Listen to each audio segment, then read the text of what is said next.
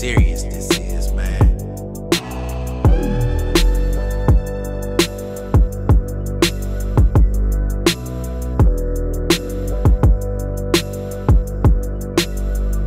I start this out by offering no apologies for telling truths, proven by anthropology. No need to offer me cosmologies, align the stars in my astrology. I know what I'm doing. Read my words so there's no misconstruing. I'm reviewing blast from the past to create a new present so we can all have a brand new reverence that will surely last for generations and build us some better nations with positive vibes on radio stations, pouring libation for participation from ancestors, yes, predecessors who fought their oppressors and sometimes were the manifestors of very strong aggressors.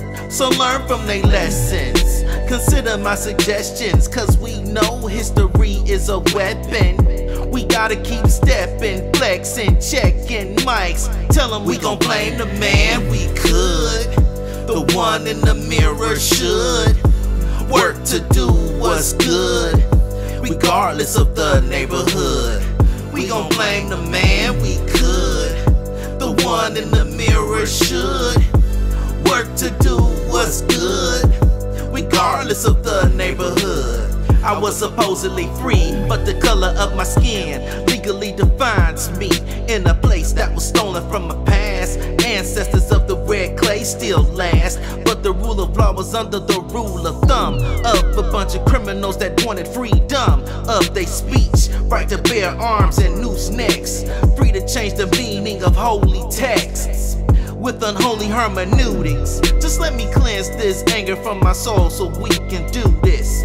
My liver needs to heal. Can't drink away the pain. How does it feel? If I'm free, doesn't mean I'll oppress. But you scared that I'll flip this mess. The indigenous ones claim a stake on our home by splitting your wig with one to the dome. But you are distant cousins that were chiseled out of caves in the frozen mountains. The ones that created color water fountains, bottleneck gene pools that are jealous of our genetic dominance, our athletic prominence, and our rhythmic swag. Our very existence is how we brag, and we don't even have to boast. So I make the toast to all our predecessors that fought and died, so we could be the host of a better worldwide that doesn't mumble when we rap, that doesn't fumble when we clap and pick up the baton of leadership. So let's lead, so let's lead, so let's lead, so let's lead. So in vain we don't bleed. We gon' blame the man we could. The one in the mirror should work to do what's good, regardless of the neighborhood.